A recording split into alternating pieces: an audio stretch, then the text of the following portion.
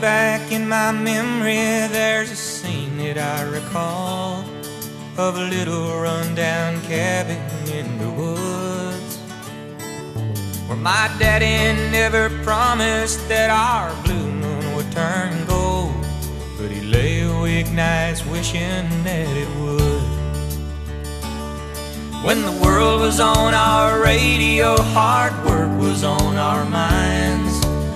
lived our day to day in plain dirt fashion. With old overalls and cotton balls all strapped across your back. Man, it's hard to make believe ain't nothing wrong. But Mama kept the Bible read and Daddy kept our family fed, and somewhere in between I must have grown. Someday I